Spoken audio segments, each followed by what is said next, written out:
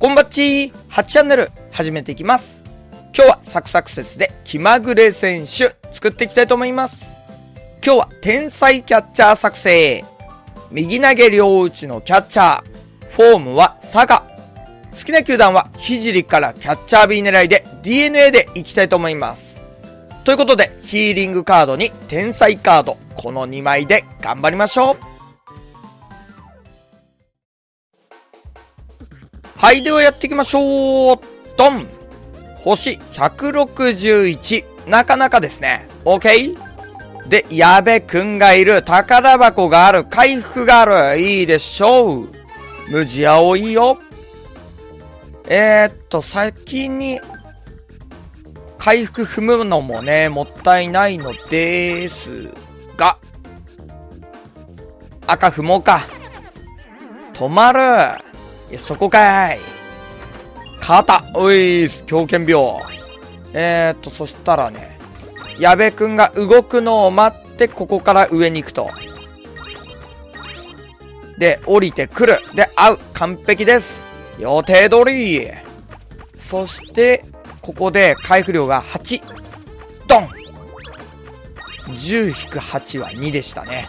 そういう計算の仕方もあるな。OK! ステージこれはなかなか能力あまり上がっていなかったりする。ボナステが来ない。最近収録してて、ボナステがなかなかね、来てないんすよね。なのでちょっとね、ボナステの解説動画があまりにも撮れていないという、そんな現状です。対左か。えー、っと、回復、峰井さんに対左もらっておく。補給。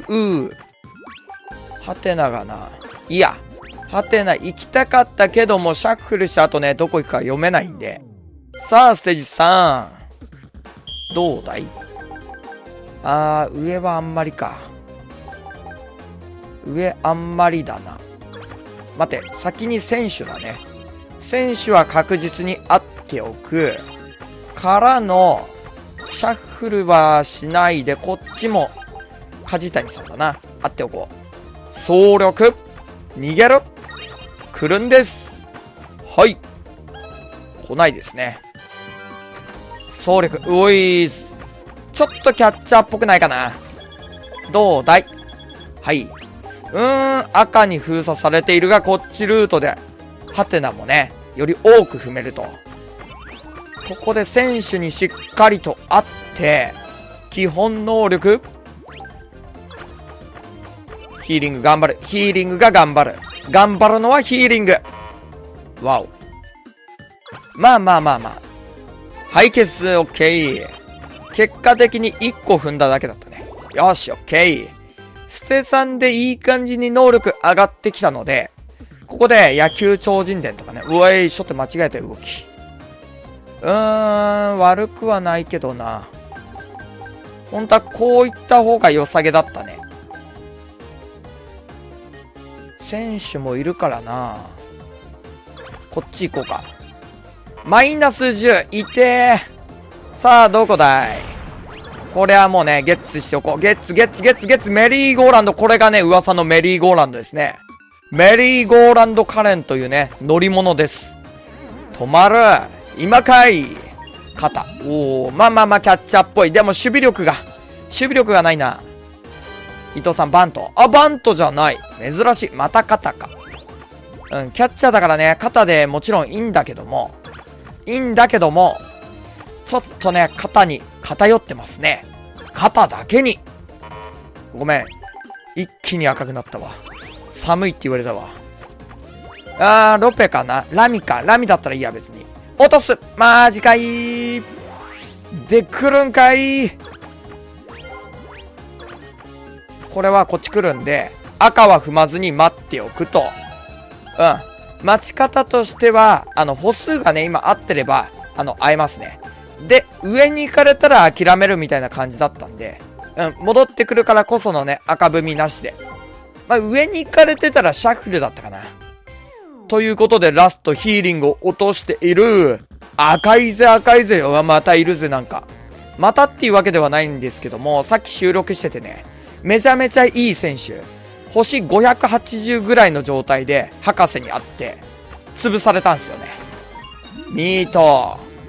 うん。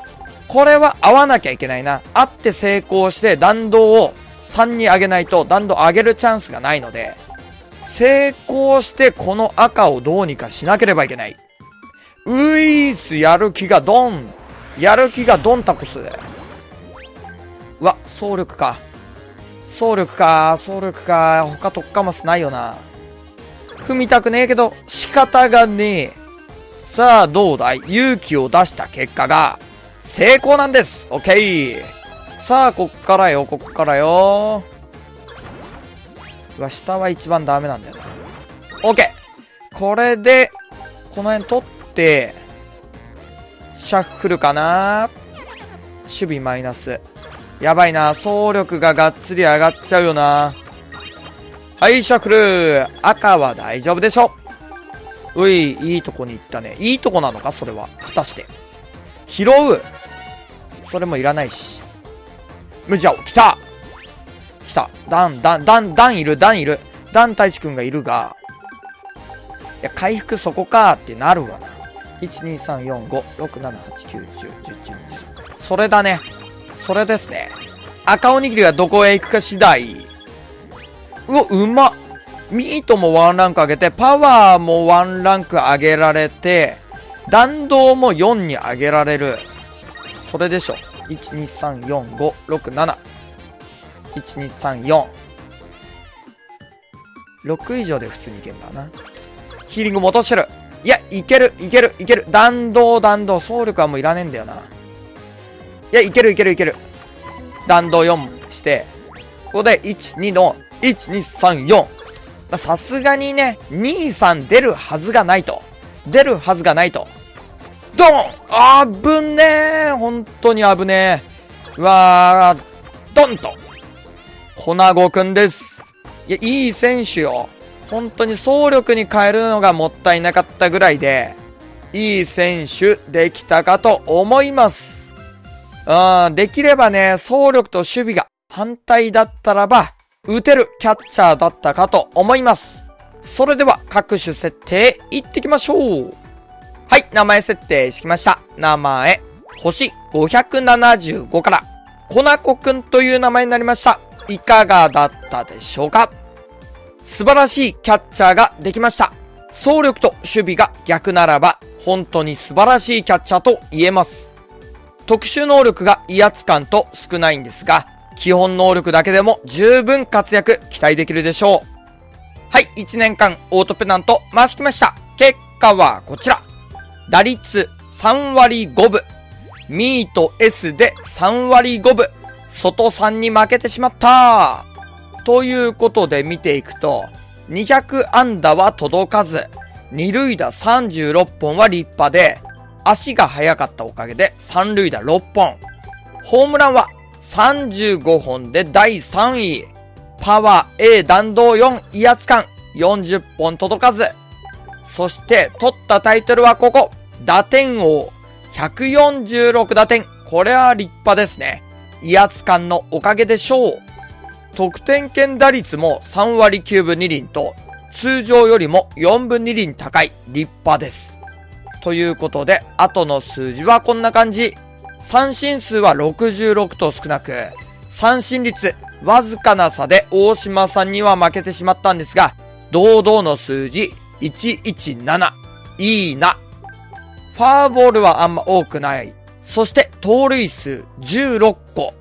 8割8分9厘の成功率立派なんですけれども、やはり総力 S100 でも緑特能がないと30個は難しい。